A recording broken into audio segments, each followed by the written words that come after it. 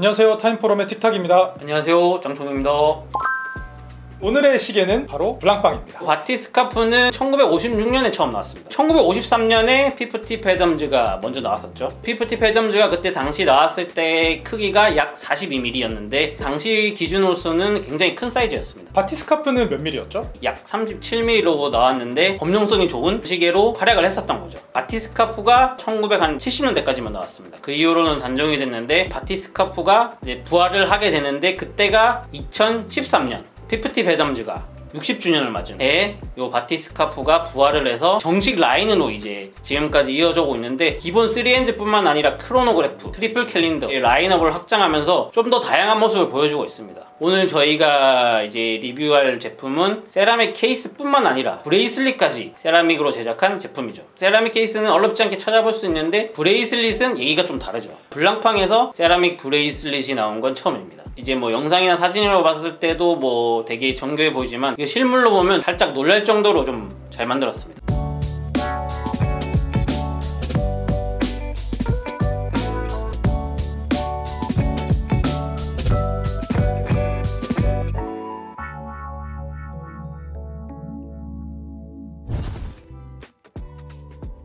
패덤즈 바티스카프 컴플리트 캘린더의 블루 다이얼입니다. 어, 세라믹인데도 약간 묵직한 느낌이 있어요. 엄청 가벼운 느낌은 아닙니다. 예상보다는 살짝 무게가 나가지만 그래도 어, 스틸 시계에 비해서는 상당히 가벼운 느낌이에요. 사이즈가 조금 크긴 합니다. 43.6mm죠 네 그리고 두께가 14.1 세라믹 모델이 그 기존 모델보다 조금 더 큽니다 지르코니아 계열의 블랙 세라믹을 사용하고 있죠. 산화 지르코늄을 사용을 하는 지르코니아 계열이 있고 산화 알루미늄을 쓰는 이제 알루미나 계열이 있는데 알루미나 계열보다 지르코니아 계열이 이제 녹는 점도 좀 더 높고 경도도 좀 더 높습니다. 어, 경도가 높은 만큼 스크래치에 있어서는 상당히 자유롭다라고 어, 생각할 수 있겠죠. 지르코늄 파우더를 1400도 이상 굉장히 고온으로 굽기 때문에 만들기가 사실 쉽지가 않은데 굽게 되면은 한 25%에서 30%가 줄어들잖아요. 그렇기 때문에 이 설계 단계에서부터 사실 정확하게 만들어야 된다는 점이 이제 좀 만들기 어려운 아무나 만들 수 없는 그런 소재인 것 같고요. 크라운이라든지 크로노그래프 버튼이라든지 브레이슬릿의 링크까지도 전부 다 세라믹으로 만들었다라는 거는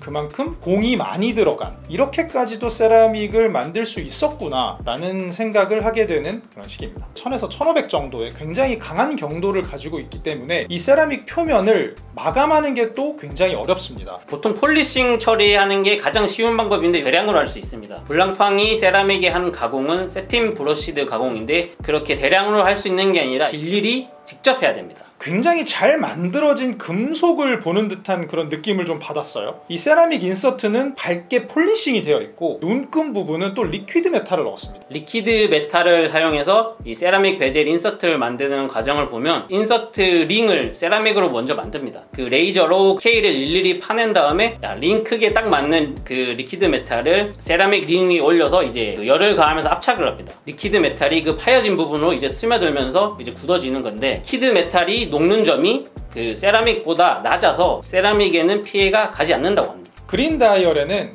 동일한 그린 색상의 insert가 들어가고 블랙 다이얼과 블루 다이얼에는 이제 블랙 insert가 들어가게 됩니다. 방수 성능은 300m입니다. 물놀이를 하러 갈 때는 전혀 걱정 없다. 바다에도 들어갈 수 있죠. 뭐. 세라믹으로 만들어진 이제 크라운인데 블랑팡의 로고가 양각으로 새겨져 있고요. 사파이어 크리스탈의 glass back을 사용을 하고 있습니다. 지금 이 다이얼의 형태는 전형적인 complete calendar의 모습이에요 12시 방향에 요일과 월이 들어가고 6시 방향에는 장구 moon phase 강사 형태로 어, sunbrushed 가공이 되어 있는데 중앙 부분이 조금 더 밝고 테두리로 갈수록 조금 덜 밝은 느낌이에요. 그라데이션이 좀 있는 것 같아요. 그린 다이얼 그리고 블루 다이얼 블랙 다이얼 총 세 가지 버전이 있습니다. 바티스카프 특유의 hands가 있죠. 어, 12시, 3시, 6시, 9시 방향에는 굉장히 입체감을 주는 사다리 꼴의 인덱스가 있고 나머지의 minute track은 이제 원형 인덱스를 채용을 하고 슈퍼 루미노바가 칠해져 있습니다. 포인터의 끝에는 초승달 모양의 붉은색 포인터가 되어 있고 초침에도 마찬가지로 눈에 확 들어오는 그런 색상으로 칠해져 있습니다. 자동 in-house caliber 6654 점 P 1151 베이스인데 caliber 수- 넘버가 완전히 바뀌었네요. 네, 1151이 기본형인데 100시간 power reserve에 진동수가 3Hz. 네, 4Hz로 늘렸죠. 대신에 power reserve는 당연히 짧아졌습니다. 72시간으로 짧아졌지만 3일이면 사실 충분하잖아요. 클래식한 형태의 브릿지 분할이라고 할 수 있겠습니다. 18K 골드 로터에 세라믹 재질의 케이스와 어울리게 이제 검정색 NAC 코팅을 어, 처리했습니다. 요 무연탄 색이면서도 요 고급스러운 광을 낸다고 해서 요 블랑팡뿐만 아니라 뭐 일부 브랜드에서 활용하고 있는 걸로 알고 있습니다. 네, 실리콘 밸런스 스프링에 free-sprung balance를 사용을 하고 있어서 자성에도 상대적으로 강하다라고 말씀드릴 수 있습니다. 말씀드릴 게 많은 것 중에 하나가 바로 브레이슬릿이에요. 이번 신제품의 핵심이죠, 요게. 이 브레이슬릿 하나하나에 이 brushed 마감이 되어 있거든요. 이게 겉면뿐만 아니라 안쪽에 이제 숨겨져 있는 면까지도 전부 다 마감이 되어 있어요. 처음에 의구심이 들 정도로 그만큼 생산과 마감에 엄청난 공을 들인 브레이슬릿 같습니다. 약간 tapered 형태예요. 그래서 위에서부터 아래로 갈수록 약간 줄어드는 형태라서 더 좋은 착용감을 제공하고 있고요. 캠 모양의 핀으로 링크를 연결하고 있습니다. 이제 홈이 파져 있는데 그 일반 드라이버로는 안 됩니다. 전용 tool을 아마 제공하지 않을까 싶습니다. 그 핀에는 세라믹의 마찰을 줄여주는 그런 효과도 있다고 합니다. 그 핀이. 그래서 요거로 이제 블랑팡이 특허까지 취득했다고 합니다. 그래서 마찰을 줄여서 어떻게 보면은 세라믹끼리 마- 부딪혀서 뭐 나올 수 있는 crack이라든지 그런 네. 부분까지도 어떻게 보면 신경을 썼다. 지금 한번 뜯어보고 싶은데 뜯어볼 수가 없어서 네. 사면 됩니다. 저는 안 되겠네요. 타이거롬이 사면 됩니다. 아, 그 사장님이 사주시나요? 공용 시계로? 블랑팡 로고가 이제 있고요. 양쪽에 버튼을 눌러서 butterfly 형식으로 열면 티타늄 형태의 버클이 보입니다. 브레이슬릿뿐만 아니라 sailcloth strap도 있죠. 돛을 만드는 천? 그거랑 나토 strap이 있죠. sailcloth 같은 경우에는 그러면 굉장히 촘촘하고 튼튼하다라고 볼 수 있겠네요. 패션 업계에서도 많이 활용하는 소재입니다. 이 lug 사이즈는 좀 독특합니다. 23mm.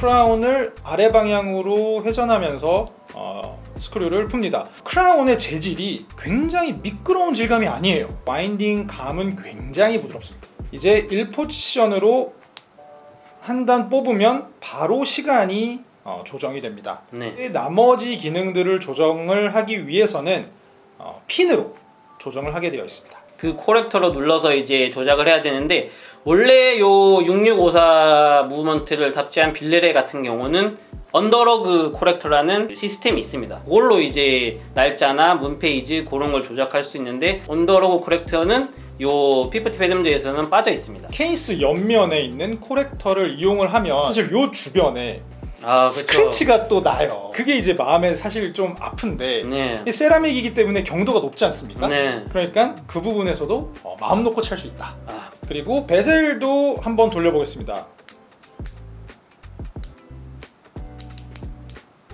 얘는 딱딱 네. 약간 그런 느낌이네요. 아이고 생긴 것처럼 되게 크네요, 여기가. 어, 약간 마초의 느낌이 네. 있습니다.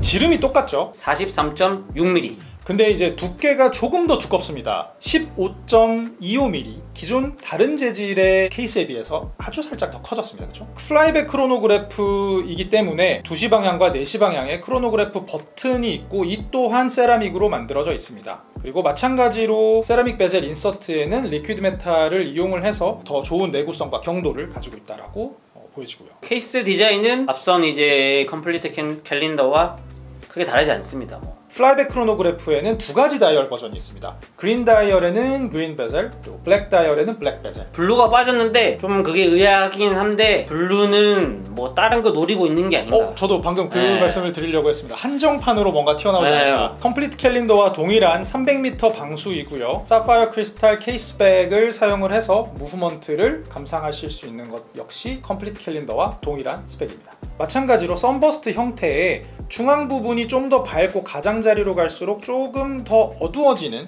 그런 동일한 마감을 가지고 있습니다. 3시, 6시, 9시 방향의 크로노그래프 카운터를 가지고 있고요. 6시 방향은 small second입니다. 4시에서 5시 사이에 날짜 창이 있어요. 사실 요거는 호불호가 갈릴 수 있는데 많이 갈리죠. 어떻게 생각하세요? 저는 저런 거 못 참습니다. 사실 저는 상관없습니다. 어차피 날짜 안 맞추거든요. 인덱스와 바늘에는 베이지 컬러의 Super-LumiNova를 어, 칠해서 물 underwater, 물 안에서도 어, 시인성을 확보를 했고 크로노그래프 초침 끝에 빨간색으로 칠해져 있는 거 역시 complete calendar와 동일한 디자인 흐름입니다. in-house 자동 크로노그래프 F385 F385의 진동수가 좀 특이하죠. 5Hz 36,000 VPH인데 high beat라고 할 수 있죠. 그 Air Command도 요 movement 같은 계열이죠. 고진동이기 때문에 10분의 1초까지 측정이 가능합니다. 다이얼의 그 minute track을 보면 10분의 1초 단위로 나눠져 있습니다. 실리콘 hairspring에 free-sprung balance를 사- 채택을 하고 있기 때문에 항자기성도 뭐 기본 기본적인 다른 시계에 비해서는 더 좋다라고 할 수 있겠습니다. 전통적인 칼럼위를 사용을 하고 있고 수직 클러치를 사용을 하고 있기 때문에 이 초침의 움직임이 부드럽다라는 특징을 가지고 있습니다. 네, 좀 더 안정적이라고 할 수 있죠. complete calendar와 동일하게 18캐럿 골드의 NAC 가공이 되어 있는 검정색 로터를 사용을 하고 있습니다. power reserve는 약 50시간입니다. 진동수가 높아진 만큼 power reserve가 더 줄어들 수밖에 없는 거죠. tapered로 설계된 full 세라믹 브레이슬릿에 티타늄으로 제작된 folding 버클을 채용을 하고 있습니다. screw down crown을 내려서 screw를 풀고요. winding을 할 때는 아까보다는 조금 마찰이 느껴집니다. 1단을 뽑으면 아래로 돌리면서 날짜가 변경이 됩니다. 2단으로 crown을 뽑았을 때 위로 올리면서 어, 시간을 변경해 줍니다. 뭐 유격 없이 굉장히 잘 돌아가는 느낌이고요. crown을 다시 푸시를 해서 잠겼습니다. 2시 방향의 버튼을 눌러서 스타트를 시키고요. 전형적인 column wheel 크로노그래프의 부드러운 조작감입니다. 초침이 튀지 않는 수직 클러치의 특징을 그대로 보여주고 있고요. 그리고 스타트, 스탑, 리셋까지 정확하게 움직여지고 있는 모습입니다. flyback도 한번 보여드리도록 하겠습니다. 바로 리셋을 누르면 제로 포지션에서 다시 초침이 움직이는 거죠.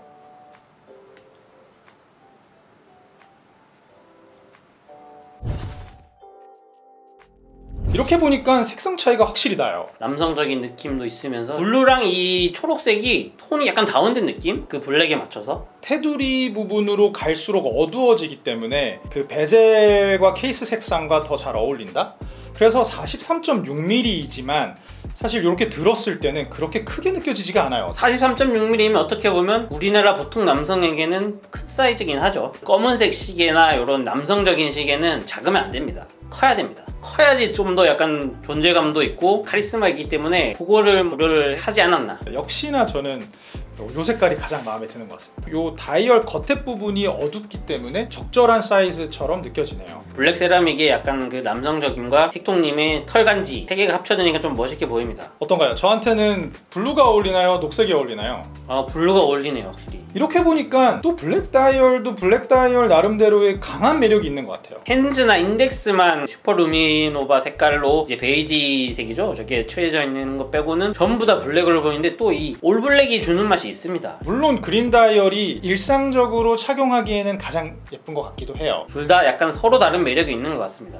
여기에 이제 다이빙 수트까지 딱 착용하고 있으면은 음, 아주 멋있을 것 같습니다. 털이랑 잘 어울리네요. 여름이라 좀 더 우거졌습니다. 저처럼 밋밋한 하얀 팔보다는 저렇게 털도 좀 있고 약간 구릿빛 피부에 잘 어울리는 것 같습니다. 저런 시계는. 이 그린 bezel이 생각보다 튀는 bezel이 아니네요. 다이얼 음. 색상은 조금 밝은데 약간 tone down돼 있어서 가벼운 느낌의 그린이 절대 아닙니다. 틱톡님이 초록색이 잘안 받네요. 잘못 입었는데요, 그러면?